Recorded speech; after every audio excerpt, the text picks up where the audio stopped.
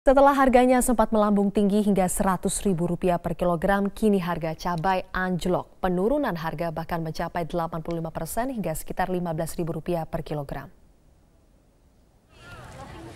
Anjloknya harga cabai di Kabupaten Oku Timur, Sumatera Selatan disebabkan melimpahnya pasokan cabai hasil panen dari wilayah Muara II Lampung dan dari wilayah Belitang, Sumatera Selatan.